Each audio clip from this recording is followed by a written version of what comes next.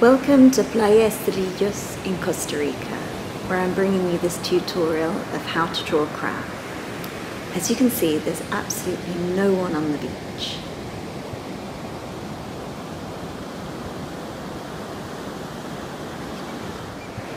To start off, I'm going to be drawing the body of the crab. Bear in mind that the sand was extremely hot, so I was trying not to burn my fingers doing this.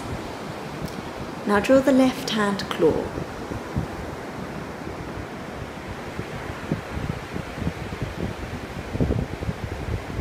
Follow this up with drawing the right hand claw.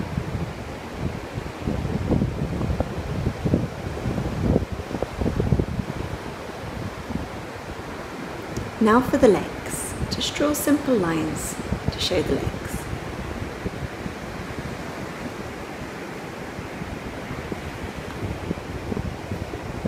And the same on the other side.